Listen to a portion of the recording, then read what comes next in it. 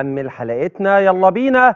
جمهور الأهلي بيفهم أفضل من اللجان. ثلاث صفقات قبل قفل القيد لإنقاذ الموقف.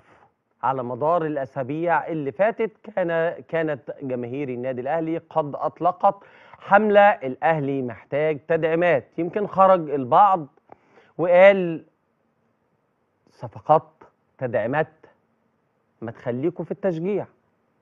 خليكم في التشجيع. أنتوا مالكم بالصفقات الأهلي أساسا مكتمل وفي بدل اللاعب اتنين وبدأ الأمر يطلع حتى للموالين وبعض الأصوات الإعلامية أو على السوشيال ميديا إن الأهلي مكتمل والأهلي فيه أفضل صفقات إلى أن جاء الكابتن محمد رمضان المدير الرياضي لينسف كل هذه الأكاذيب.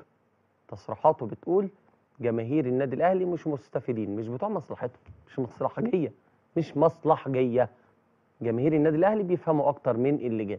كابتن محمد رمضان في تصريحات تلفزيونية مرة واتنين قال لك النادي الأهلي بيفاوض ثلاث صفقات في ثلاث مراكز لتدعيم الفريق وبيفاوض لاعبين أجانب وبيحاول ينهي صفقة الأجنبي والأجنبي هيكون مهاجم راس حربة. مهاجم الأهلي بيفاوض مهاجم أجنبي وبيفاوض جناح مصري. وزيكو هقول لكم قصة زيكو إيه والأهلي بيفاوض defender هقول لكم مين ال defender. واتقال اللي برضو الجماهير قالوه ما أنت لما تيجي تقول هتقول لك اسكت ولد أنت تشجع بس.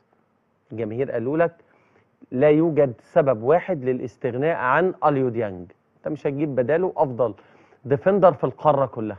وما فيش سبب واحد إن أنت تستغني عن أحمد عبد القادر الجناح الأمهر في النادي الأهلي. ولاعب مؤثر جدا حتى في المحافل الدولية الكبيرة اللي شارك فيها النادي الأهلي زي دوري الأبطال وكأس العالم للأندية. وانت برضه ما جبتش بديل ليه فبدأ الكابتن محمد رمضان يتحدث عن تدعيم النادي الأهلي بثلاث صفقات وقال في ثلاث مراكز وقال بنفاوض لاعبين أجانب ولاعبين محليين علشان نجيبهم خلال الفترة دي قبل قفل القيد. المحلي يوم 25 أكتوبر. إيه ده؟ يعني يا شريف الصفقات اللي هتيجي مش هتشارك في دوري الأبطال؟ لا خلاص ما توتة توتة خلصت الحدوتة. دوري الأبطال تم غلق القيد من أسبوع 30 9 كان آخر يوم.